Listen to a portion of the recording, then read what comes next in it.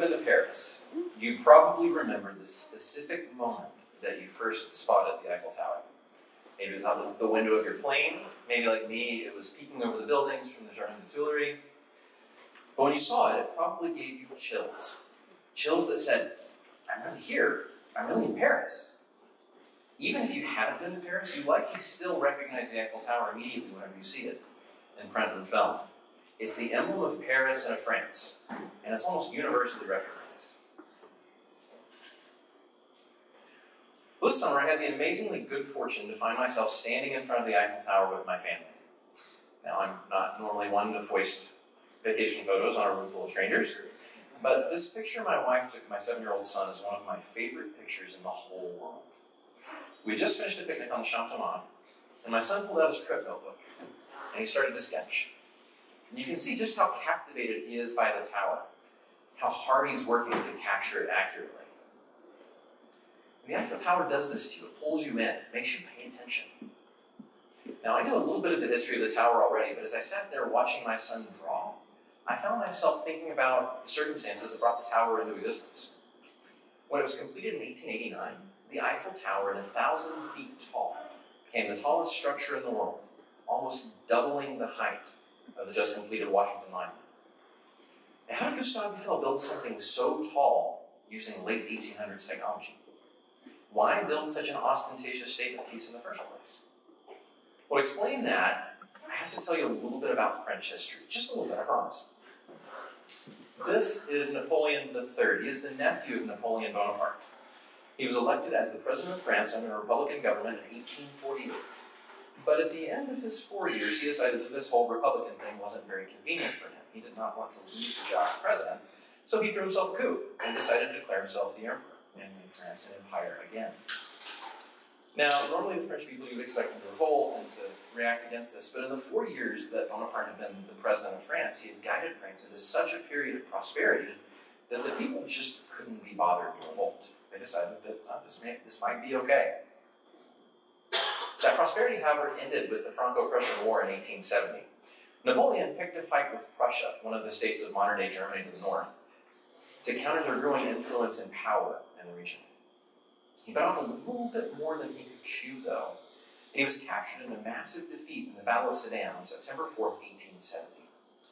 You can see our friend Napoleon here handing over his sword in humiliation after losing the battle. It was an embarrassment for him and an embarrassment for France. After the capture of Napoleon, the French set up a new Republican government, and its first job was to get the Prussians to go home, rather than annex the, the whole northern part of France. And to do that, the government had to pay massive reparations to the Prussian government that plunged France deep into debt. Prosperity was gone, and not only was France broke, but their defeat in the Franco-Prussian War was a huge blow to the collective French ego. By the early 1880s, about 10 years later, France was nearly back on its feet. It had largely recovered from the defeat and subsequent reparations from the war, and the Republican government enacted after the end of Napoleon III's empire had held its own against plenty of challenges and was guiding France back into prosperity. On top of that, the 30-year renovation of Paris by Georges-Eugène Haussmann, replacing narrow medieval streets with these broad tree-lined avenues like most of us are familiar with in Paris, was nearing completion. The Parisians were ready to show off. And what better way to do that than to put on another World's Fair? Across the English Channel, Prince Albert, the husband of Britain's Queen Victoria, had the idea in 1851 to invite all the nations of the world to come to London and show off their industrial progress. Well, the French liked this idea so well that they threw another own four years later in 1855. And then again in 1867.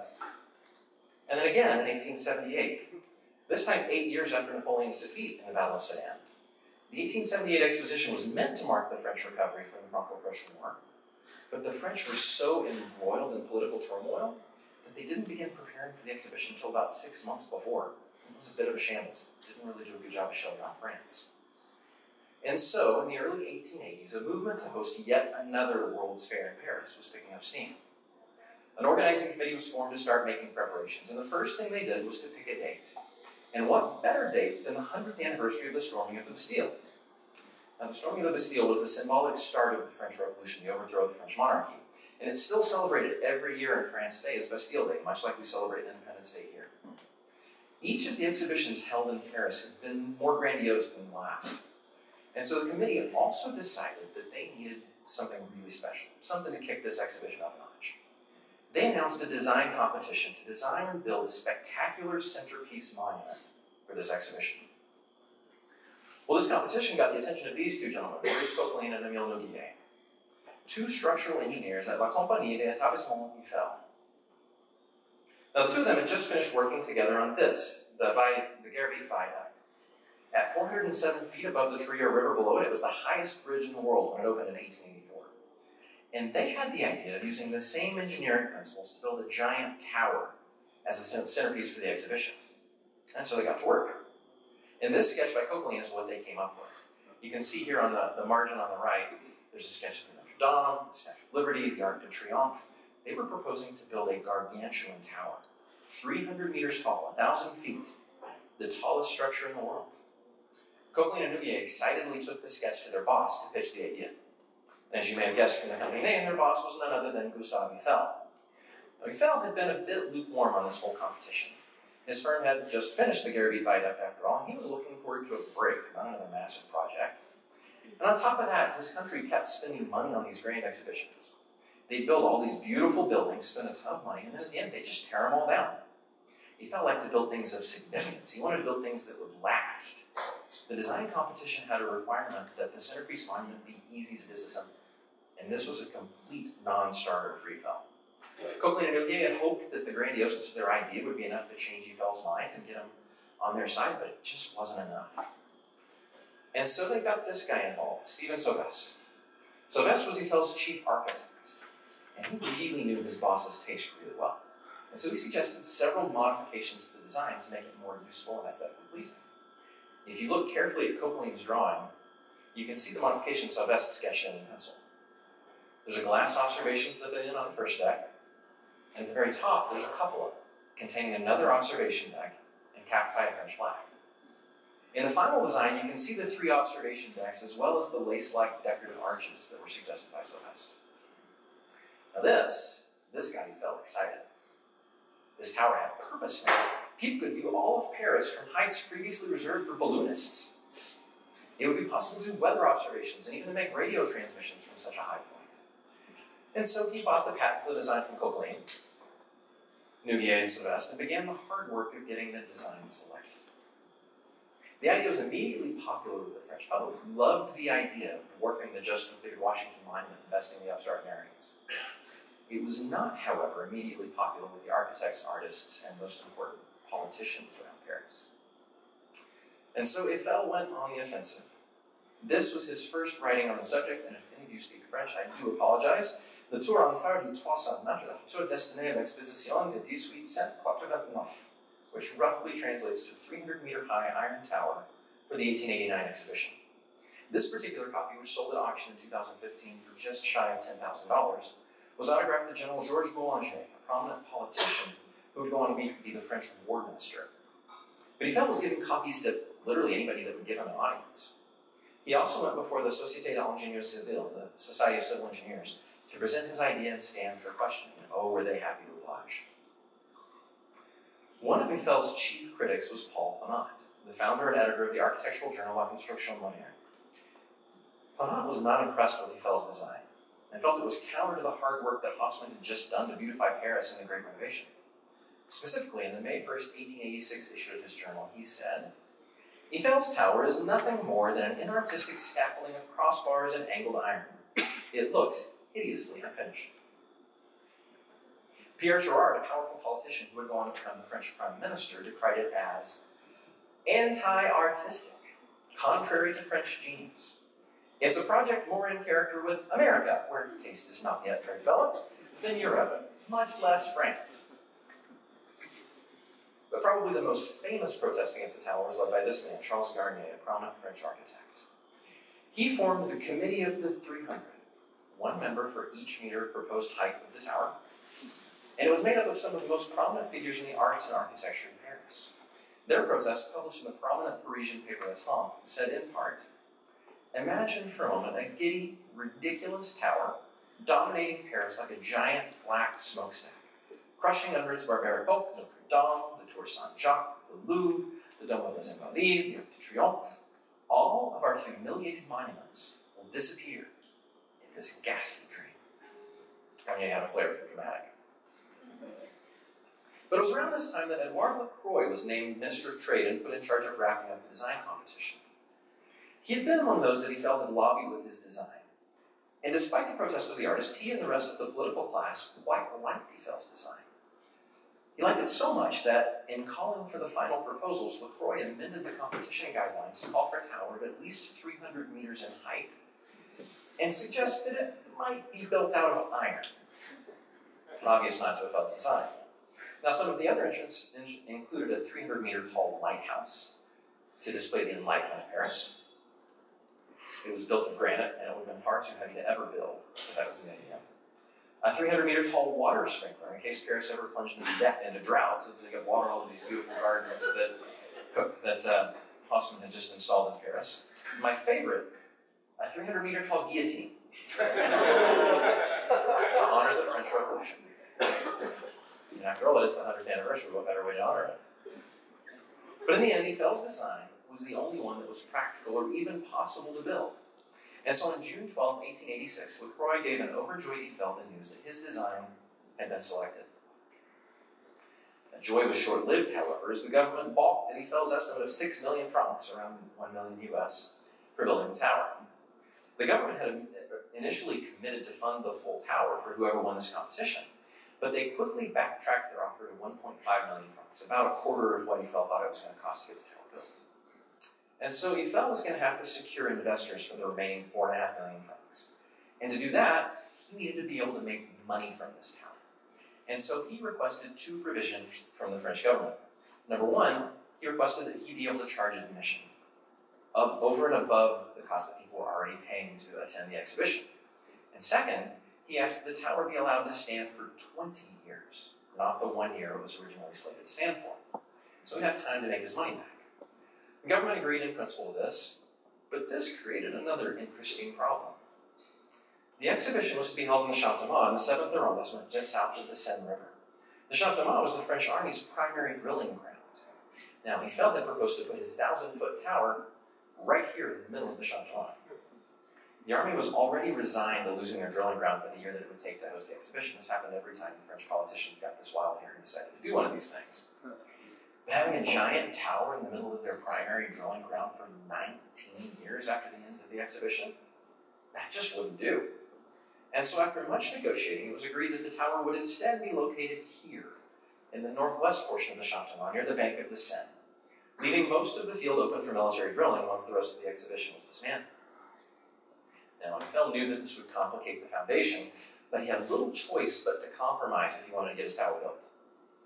French bureaucracy being what it was, it took six anxious months for the contract to be finalized and the funding put in place. But finally, on January 8, 1887, Eiffel had a signed contract in his hand. He immediately began gathering supplies and hiring workers, and then on January 28, 1887, Eiffel's workers began work on the foundation. They a little over two years until the planned opening of the exhibition to get this tower built. Now, I mentioned that moving the tower closer to the Seine complicated the foundation work, and here's what I mean by that. Each leg of the tower rested on four six and a half foot thick slabs of concrete, one for each of the principal girders of those legs. The east and south legs of the tower rested on solid ground on the Mars side of the site. The west and north legs, though, were far more complicated, because they were on the side of the site closest to the Seine, and the ground here was made of millions of years of sediment deposit from the river, much, much less stable. So, for those two legs, each of the four slabs required two piles to be driven 72 feet down into the ground to hit bedrock. Not only that, the six and a half foot foundations actually had to be poured below the water table of the Seine. You can't pour concrete when there's water. And so this is what Eiffel's team did to cope with that. You can see these giant iron structures. These are 50 by 20 foot cast iron caissons. What they did is filled these with pressurized air, and men would work in this pressurized environment, digging out the soil, the caissons would slowly sink into the ground with pressurized air, keeping water from infiltrating the construction site until they finally got it dug as deep as they needed to be and they were able to pour the concrete foundations. It took a while, but it was effective.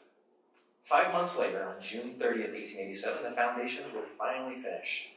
This is what the foundation for each of the four legs looked like when it was completed. There are four, four sets of these foundations. Each foundation had two bolts embedded into it to bolt the shoe of the primary girder. The bolts look kind of small in this picture, but to give you context, each of those bolts is about four inches in diameter and 25 feet long. So pretty big.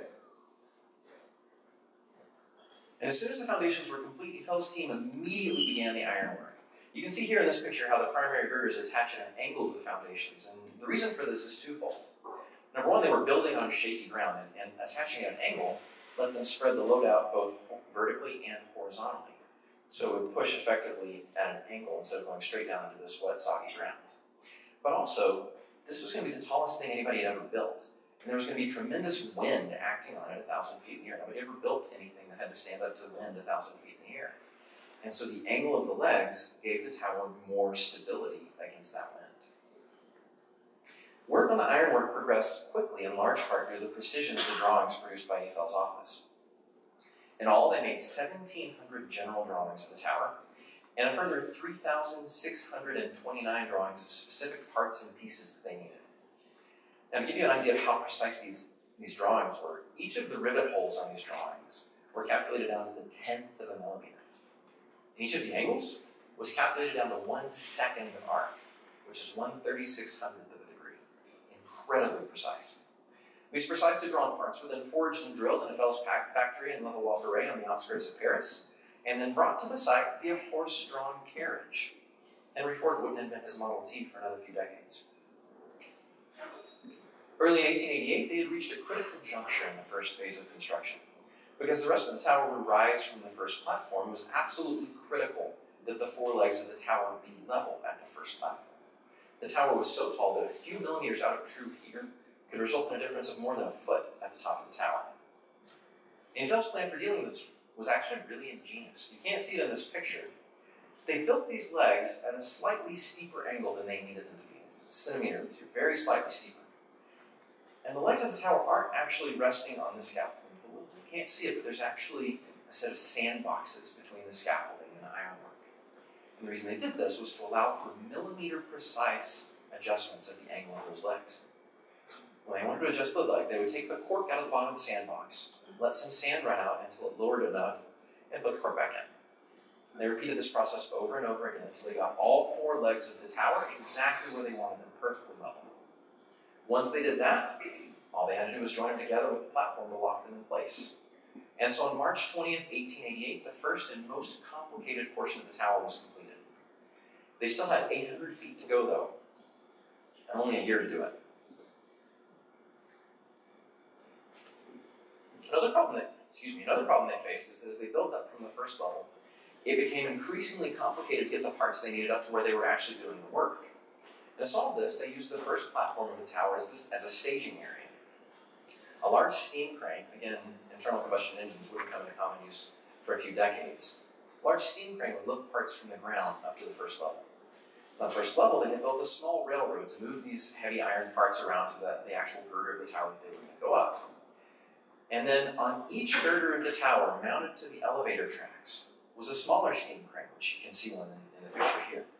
These cranes would move up the tower as it was built, and they would pick the parts up from the first level platform up to the area where the work was actually taking place and parts were being attached to the tower. By July, the tower was complete up to the second level. And if you look at the background here, you can start to see some other buildings for the exhibition starting to take place, starting to take form. The exhibition was stated to start, slated to start in eight months, and they still had 600 feet to go in eight months. Long way to go.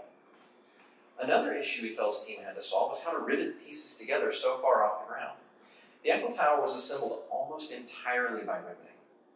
The prefabricated parts were brought to the tower, hauled up, put into place, test fit, and once the crew were certain they had the assembly right, they would begin the tedious process of driving rivets through all of the precisely aligned holes. The problem is that before driving the rivets, they had to be heated up to red hot. Now, the way this would be normally handled on a construction site in the 1800s is there would be a forge somewhere on site, and there would be a rivet boy that would run with a tin pail full of red hot rivets to wherever construction was taking place. Well, if they tried to do that here, the rivets would be cold by the time they got them up the tower. And so instead, they used portable forges. And you can see a worker using one here in the foreground. This worker in the foreground is heating up the rivets And if you've never seen a rivet, it's essentially a screw with no threads. It's got a head on one end and it's just a straight steel or iron shaft. So he heats it up to red hot and then they insert it through the two pieces to be joined. The guy in the back is holding the rivet by the head. Then on the front, there's a worker on the left here who's holding a tool to shape another head in the rivet, and a worker hitting that tool with a hammer. And the two of them together shape the head on the other side of the rivet. The beauty of this process is that as this red hot rivet cools, it expands, and it, it creates an incredibly tight joint in the two pieces that it's joining together. The problem is they had to do this two and a half million times because there are two and a half million rivets holding the Eiffel Tower together. At the peak of construction, there were 24 man crews, just like this one, working all over the tower. And these little portable forges would go with them all the way to the very top of the tower, a thousand feet in the air.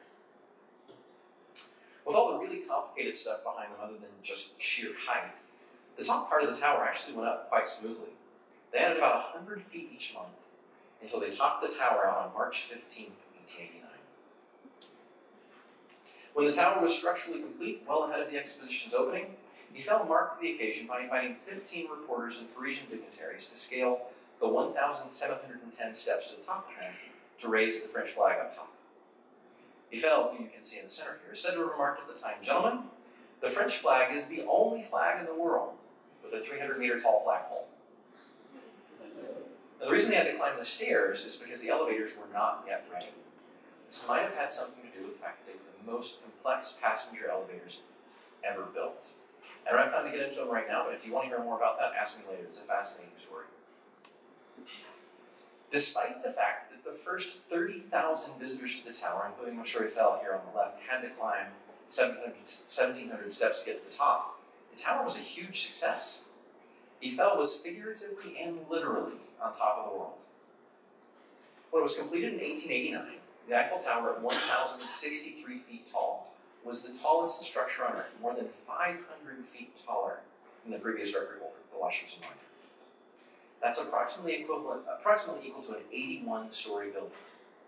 The Eiffel Tower would actually hold this record until the topping out of the Chrysler Building in New York, 41 years later. No structure built after the Eiffel Tower has held that record for longer. it's a remarkable achievement that broke all kinds of new ground. And it's the kind of work that we all say we want to be doing, right?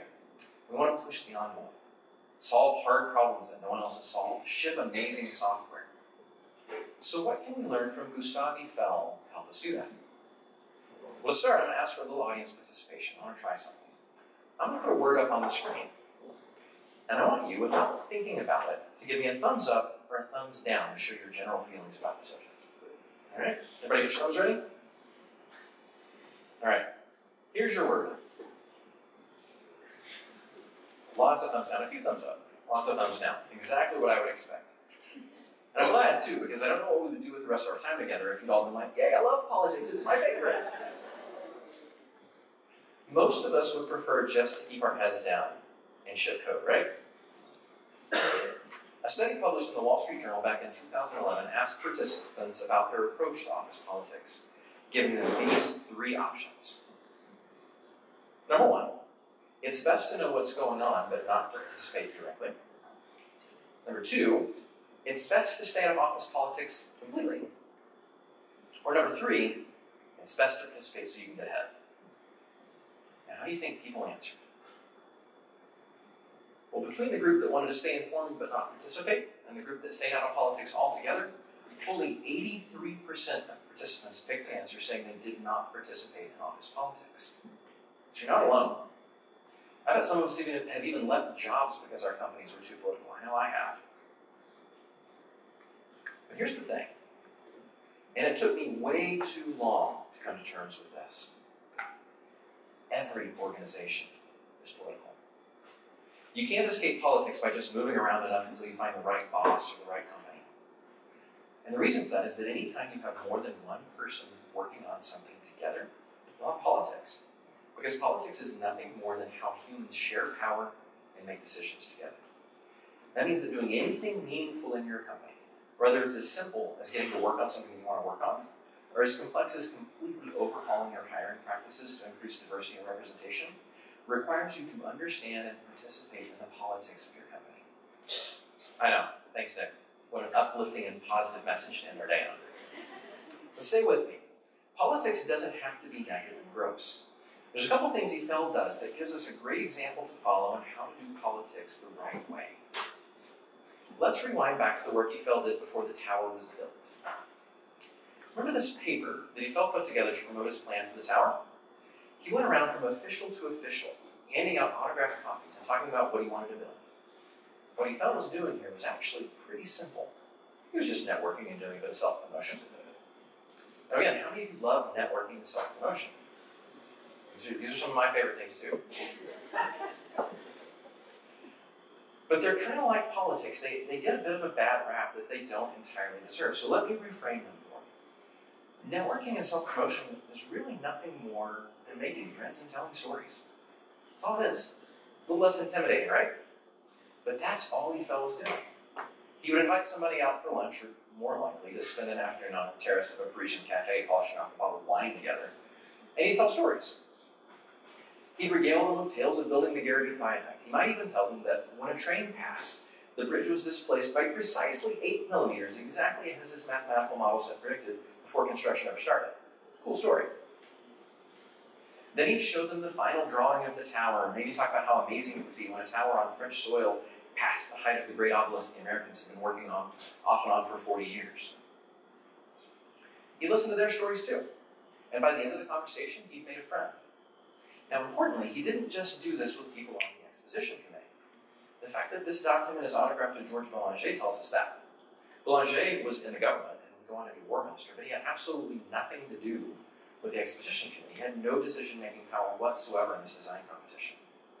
And that's what networking is all about. It's just making friends. Maybe you'll be in a position to help each other at some point, but that's not the immediate focus. So what does that mean for you? Well, maybe you should grab coffee with your product manager. So they're a human to you, not just somebody who drops things in the top of your backlog and asks for ridiculous, unrealistic dates. Maybe you should get lunch with somebody in sales because they're the ones hearing the questions your customers are asking. And they have no clue how you do what you do, and they would love to hear. The second part, self-promotion, is about making sure others know what you've been working on and telling stories. Not in a braggy way, in an informative way. Now, in a perfect world, doing good work would be enough. But we don't live in a perfect world. Your manager isn't paying nearly as much attention to you as you think they are. So you have to tell them what you've been up to. You have to show them the work that you've been doing. Show them what you've been working on and what you've accomplished is a big part of how you build your reputation at work, with your manager and with other folks elsewhere in the organizations you work in. If you want a promotion, or you want to build more influence so you can affect big changes, this is a big part of how you do it, building this influence. You want something to help you, something to help you learn to do this more effectively, I can't recommend Dale Carnegie's classic How to Win Friends and Influence People highly enough. It's full of timeless advice on how to do this well, and in a productive and non-scummy way that benefits you and the person you're talking to. For the other thing Eiffel has to teach us, let's go back to the contract he signed on January 28, 1887. Now, if you remember, the French government had initially proposed to cover the entire cost of the tower. But at the last minute, they balked and only agreed to cover a quarter of the cost. Now, at this point, it would have been really easy for Eiffel to play hardball and demand the government live up to its original proposal, or he would walk away. Remember, he didn't really want to build this tower in the first place. He had to be talked into it. But that's not what he did. Instead, he did a bit of negotiation. Now, again, another one of our favorite words. This probably makes you think of buying a used car and trying not to get screwed. So let me reframe it too. Good negotiation is really all about cooperation. Working together to find an outcome that works for everyone. Now, Eiffel understood the French government's position. And he had empathy for the government representatives he was talking to. Putting on an exposition is expensive, and they frankly didn't have the six million francs to give him. So instead of walking away, he worked with them to find a way to satisfy his need for six million francs, and their need to not give him six million francs and only give him a million and a half instead. And he found that mutually beneficial solution in being able to charge admission for 20 years. As an aside, that turned out to be a phenomenal deal for Eiffel. An amazing 1.8 million people ascended the tower during the exhibition, paying on average three francs apiece for the privilege of doing so. So the tower had more than paid for itself by the end of the exhibition, and he had another 19 years to profit from it. Now, when we're fighting for something we want, there's a temptation to see that process as a zero-sum game. Someone has to win and someone has to lose. Eiffel needed six million francs to build a tower, so it was that or bust.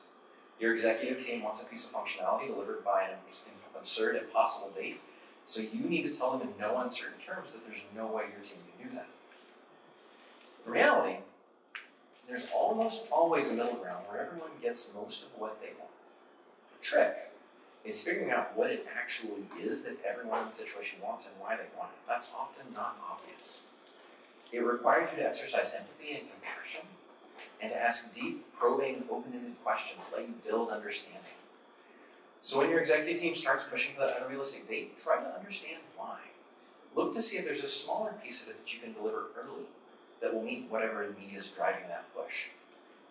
If you want to learn to do this well, grab a copy of Herb Cohen's classic, You Can Negotiate Anything. Now the title's a little cheesy, but this book changed the course of my career when one of my mentors recommended it to me years ago. Cohen teaches a style of negotiation that revolves around understanding everyone's needs, especially your own. That's one of the hardest parts. And getting to agreement by finding mutually beneficial ways to fulfill them. But what about bad politics? Are there organizations and bosses that are over, overly political? Absolutely there are. And if you find yourself in an organization that regularly promotes those that play the game instead of those that do good work, you might need to leave. Or if you find yourself working for a boss that always takes credit for your good work, there might not be enough networking and self-promotion for you to get around that. But if Gustave Eiffel didn't find the French government too political to navigate and negotiate with, there's a good chance that bar is higher than you think it is, and you just need to push against your own discomfort. There's another layer we should consider here as well. Everything I've, I've shared so far has been for us as individual contributors, as developers. But some of us in this room are managers or team leads. What does this have to do with how we lead our teams? Well, the conventional wisdom around organizational politics for tuned in leaders who care about their teams is this. Now, I try not to use profanity on stage, but this is such a common term in our industry that I'm not sure saying shit umbrella even counts as saying a bad word. But that's the common wisdom around politics and leadership. You might have to engage in organizational politics to get your job done, but you should shield your teams from politics, which Jason Fried calls bullshit here, so they can keep their heads down and stay productive. Now, there is some truth to this. Constant disruption, getting jerked around from priority to priority, are counterproductive for your team. And helping them stay heads down and writing code eight hours a day is going to feel really productive to them and to you too. But the full reality is actually more nuanced. The downside of being an impervious shit umbrella is that you become a choke point of information for. Over time, you'll disconnect your team from the mission of your organization entirely. And since we know that a sense of purpose is an important motivator for most humans, that disconnection quickly leads to dissatisfaction and even leaving the company. On top of that, you're not designed to bear that load. Putting yourself in that spot as a leader is all but guaranteed to burn you out. So what should we do instead? Well, one of the engineers on my team, Steve Rickard, introduced me to an analogy that I like a lot better than the umbrella. Heat shield. We get the term heat shield from the world of space travel and orbital reentry. Unlike an umbrella, a heat shield is not designed to be impervious. An umbrella blocks all the rain that hits it, but a heat shield blocks just enough heat to make reentry survivable. That's it. It's a carefully calculated compromise. If it blocked all heat, the spacecraft would be too heavy to reach orbit in the first place. Not enough, and reentry is not survivable. The craft burns up on the way back in. If you lead a team, this carefully crafted balance is your job. You need to block enough organizational noise so that your team has consistent direction and big blocks of time to work, but not so much that they lose context and connection.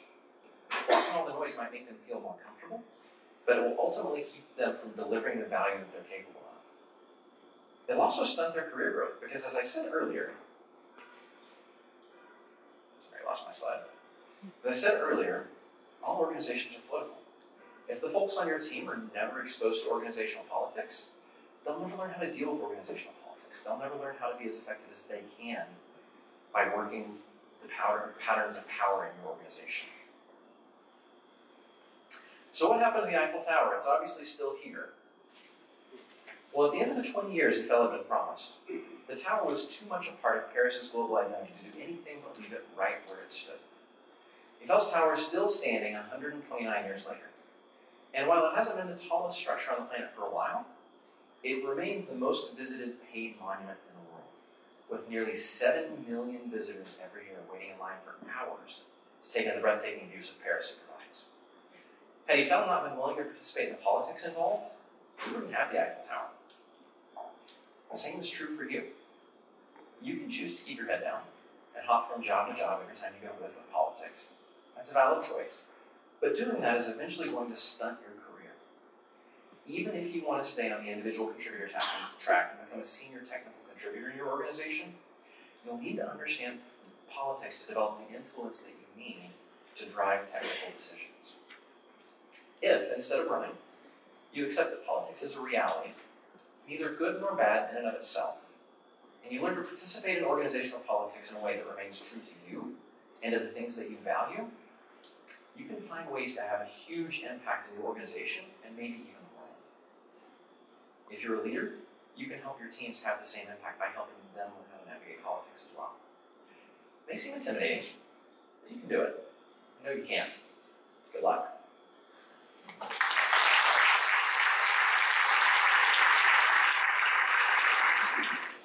Uh, Marty's talk, we're talking, uh, and a bit in Katrina's also talking about this idea of trade-offs and solutions not necessarily being like right or wrong without context. Um, it's interesting, I think as you're hitting here at the end, one of the patterns, uh, I'm going to presume you've observed this over the last 10 or 15 years also, is that there are friends in the industry who kind of came up in what I will call our generation and got into this world in 2003, 5, 7, 9. And now, after 10 or 12 or 15 years, have done, have been at several places, have been around two years here, one year there, two years there. And you see in the end, typically, a dissatisfaction. I think there's a danger for people as they amass a good of experience uh, and, and, get maybe a little bit of reputation. Then now all of a sudden everyone wants to be your friend. Right? Every company wants to hire you. For you specifically, if we're like, oh no, GitHub, it's over. We need a new job for Nick. Right? Tomorrow, possibly, by next Friday, we would have a great job. Right? We would find out. I would find a job for you. You know, even a person like you. Um, but how do you know? How do you know when it's time or when the like situation is such that I, I can't or shouldn't do it? Like if I take the message of get in, like play the game, fight the battle, make the change, how do I split between or how do I differentiate between the situation that's worth it and the situation that's not? It's a great question. It was a very long, long question. Yeah. Okay. You're good. It's a good one though. It's a good one, and it's it's difficult to know. And I think those signals are different for everybody. This is good. Yeah, I can I can turn that off. Why don't I do that? It is a little, it is a little flashy. Now I'm gonna use the touch bar for something. We don't do that very often. That was cool. Um, so I think I think the signal is different for everybody. For me, one of the things I've always looked for about when is it time for me to go is do I feel like I've learned everything that I can learn here in this position? Everything or like ninety five percent? Not ninety five percent okay, yeah. Uh, enough that I, am hitting the point of diminishing returns. There's not much left that I'm going to learn in the position I'm in, and I don't have a great roadmap to get to the next position to stretch myself even further. Um, as a leader, thing I look for is when it gets to the point that I can no longer be an effective heat shield, I can no longer make a positive difference in the organization and create an environment where the team that I'm leading can thrive, that's another sign for me that it's, it's time for me to go. Um, the challenge there is, is not trying to be a hero. Because you can do the thing where you become the show and and you take on the organizational load, and you try to block everything and make it a sane environment for people working for you, even when you're dealing with all sorts of things over your head.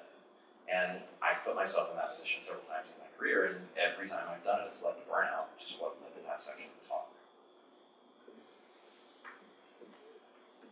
Why, like, why burnout? Is burnout just um, is burnout fatigue, or like what makes? What's the difference between like working hard and getting burned out? Emotionally drained, putting give, giving so much of yourself to your job that you have nothing left to give to things outside of work.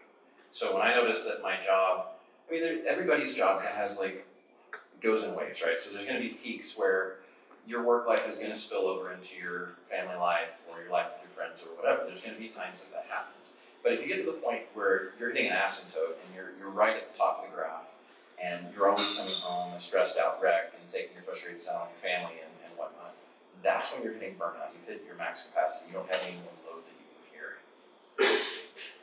One of the things that's been really interesting to me in a, in a company that's grown from one or two or three to now like 32 is to see that the organization can change out from under you in a way, right? That there are, is, is it your experience that there are people better suited to a small, uncertain, fast moving thing and uh, better suited to a slightly slower but like safer large thing and how do i figure out what kind of person i am I don't know what kind of what kind of person are you, Jeff? That's a good question. that's what i've been looking for all day all these tips Um, I don't know. I, I, in some ways, I think it's unfair to call large safe because inevitably in a large organization, microsoft could just come acquire you at any time Eh, absolutely.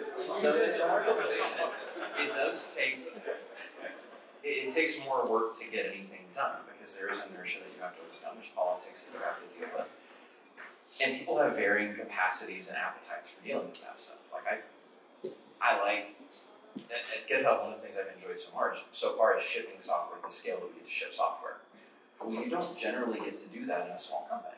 So you have to pick the set of trade-offs that are right for you at that point in your career, and it's going to vary over the course of your career. It's not it's not a static answer for anybody. I've done plenty of time in startups too, and I love inventing the entire company out of thin air. And you know, I also love having a legal team to go to when I have a question to ask, and not having to scrounge around and pay hourly to do that.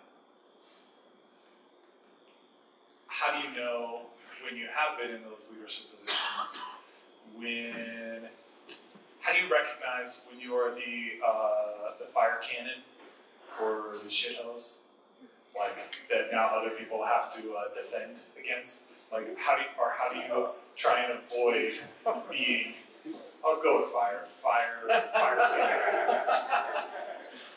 How do you avoid being the fire cannon to other people's heat shield? You have to build enough rapport and uh, relationships with people that they'll tell you. You have to have checks and friendly relationships in the organization where, when you do get to that point when you are being overbearing, they will give you some corrective guidance and help you steer back. The same thing when you're starting to get frustrated and you're starting to tune out. You need the signal then at the same the same way. Someone to tell you, hey, you're I, I can tell you're getting tired here. Maybe you should take a few days. I think those are opposite sides of the same fluctuation. I don't have a better answer than that, do you? Um, I think a warning sign for me is when uh, people don't hear you. When like the words you say are like listened to but not heard, Yeah. and that's that shows me that there's like a there's a disconnect, right, of the reality you perceive and the reality you pe- perceive. Not saying that like yours is worse and theirs is better, or theirs is worse and yours is better, whatever. But when that's like the sign of the of the relationship getting stretched. Sure. And I think to your point about like Dale Carnegie and all these kind of things, when we when I when I talk to people about getting jobs, being in jobs, I think is like Marty said, there's a lot of similarities to parenthood. There's similarities to like partnerships and dating and all those things. You know, I, I was just talking with somebody um, who has a job and they want a new one, and I said like, don't quit the one you've got one. Like nobody wants to date a single person. But when you've got somebody they're like, hey, you must be half decent if someone is willing to talk to you, right? Um, so takeaway tip for you, don't quit your job until you have a new one. And the bad side there, you're like, what if they find out I'm trying to get a new job? You were gonna quit anyway. So good. Uh, I can't remember how I got down. Oh, yeah, personal relationships. it's the same. It's the same patterns, right? It's the same patterns that make for like effective life partnerships, Yeah. make for effective work partnerships. Right. And I think that's, uh, I think you made a good point of that doesn't always feel comfortable. Like, why should I have to do this? Right. You know? Well, that was me for a long time. I, I, I lived the first decade of my career like thinking politics was toxic and I needed to find an organization that wasn't political. And I'm finally happy when I found that organization. And my career changed dramatically when I figured out that there was no such thing.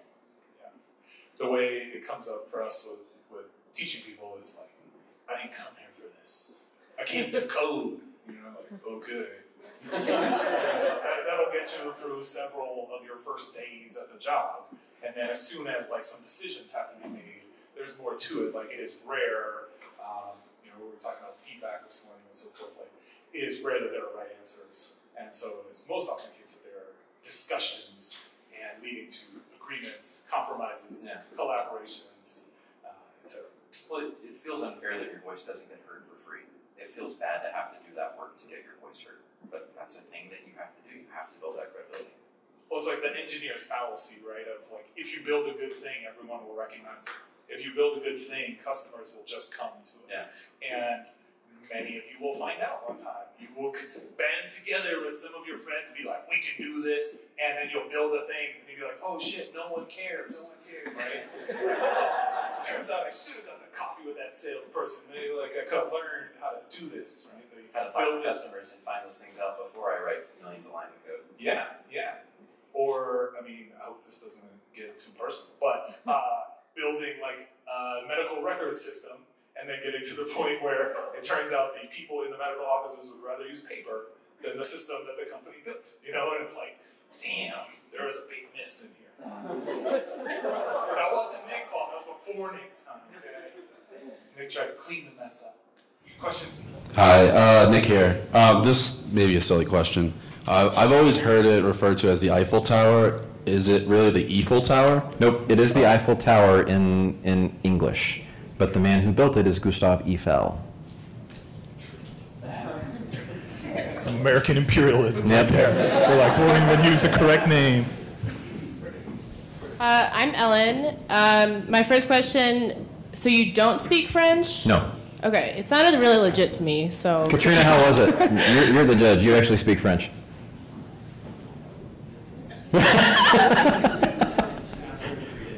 I'll, take, I'll take that as a compliment from Katrina.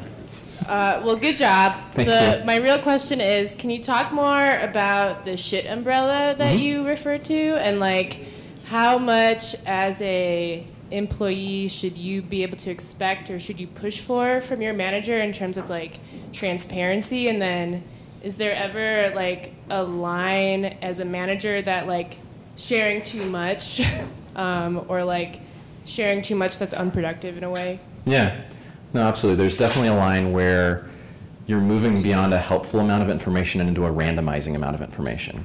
So the feedback that comes from, as a, as a manager, the feedback that comes from over your head in an organization will often go back and forth. It's just like the thought processes that happen in your brain as your brain tries to make a decision. You'll lean one way, then you'll lean another direction, then you'll lean another direction, and finally a decision will come to be made. Well, if I, as a manager, am passing on all of these vacillations back and forth, my team is going to change directions every time I share one of those. And so, doing that in a heat shieldy way is letting them know that this conversation is happening and that the organization is trying to make a decision. We don't have one yet, but these are the two directions that you can kind of start thinking to be prepared for what we might do next. Doing it in a shit umbrella way is to not say anything until the decision is made and just completely block that information. Because you want the people, as a leader, you want the people on your team to be thinking about those things. You want them to be thinking about what's next before you get there. Now, as, as someone who's wanting to give feedback to a manager, um, you should make sure that you're hearing things that are going on in the broader organization. And if you're not, you should just ask general, broad questions about so what's going on over your head? What, what are the things that the organization is considering right now? Um, Another really effective technique that I personally, as a manager, really enjoy is when one of my one of the people on my team comes to me and says, here's what I'm seeing and here's my read on this situation.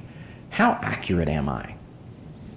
And that, that's always really fun for me because sometimes they've seen things and spotted patterns that I haven't even put together yet. one of my uh, or like two two questions I use for myself to figure out like what do you what do you umbrella, what do you shield, and what do you pass through are um, how directly does it affect you as as the person on my team? Like, are you directly affected, and can you directly affect it? And because if you are not affected and you can't affect it, then I'm just sharing my anxieties with you, right? And that does you no good. It like inhibits your ability to do other work. If you're affected but you can't affect it, then I have to decide like what's the degree of risk, and you're probably better off still not knowing about it. Does that make sense? Like, uh, if it's gonna it's gonna hurt or it's gonna change your work, but you can't do anything about it, then there's really no point. It's it's like to me a little bit of weakness to say like, oh, have some of my problems. You can't do Yeah. anything about it. Uh, but if you can do something about it, then to be more closer to transparent or, or like some past degree of pass through so that you can start thinking about and really i think your point was really important there about being under the shit umbrella can be comforting in that i get to just do the thing i signed up for but long term it, it is like stunting your growth right because if you want to be uh, like i know you're going to be like many people's boss someday Alan. so uh, but like if you're just shielded from all that all the time, it's not allowing you to grow those muscles, right? To get back to like Kiwi, you can't just like snap in to high performance in a thing if those skills have like atrophied or never developed in the first place, right? So by letting people bear some of that load when appropriate, it's essentially like training you, on ramping you to then be the next team lead. Yeah. Thank you very much for your talk. And by the way, your French was perfect. I speak French too. Ah, thank you. um, I have two questions. The first one, um, one thing that really resonated with me from your talk is how much pushback he got. Like when those 300 people like made a commission and all. And I wonder if you could talk a bit to that and what are the parallels in our world. Like when you do something that is really different or that really challenges the status quo, maybe the amount of pushback that you get it's a sign that you're onto something.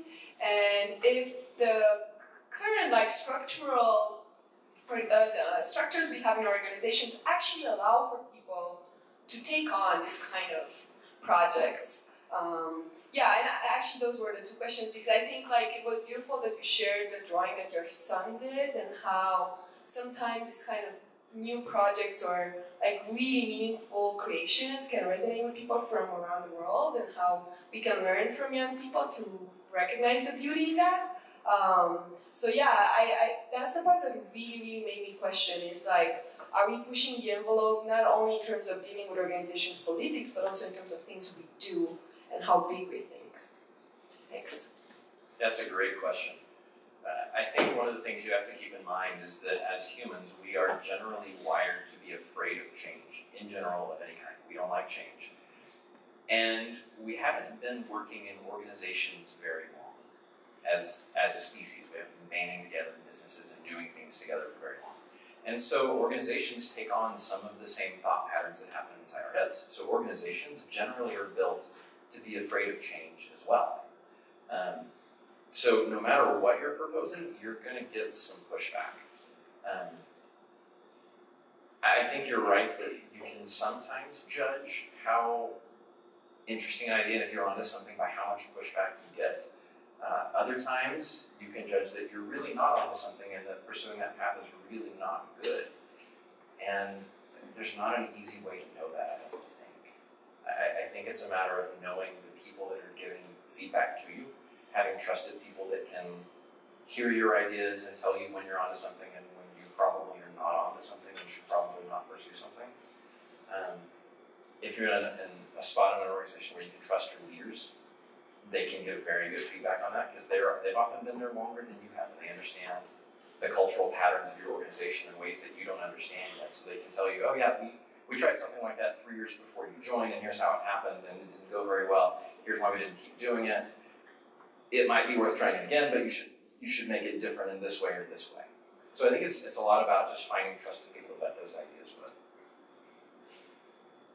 when you talk about Dale Carnegie and so forth, I think um, people can take very shallow um, synopses of some of those ideas, right? Of like, oh, if I say people's name a lot, they'll like me and so forth.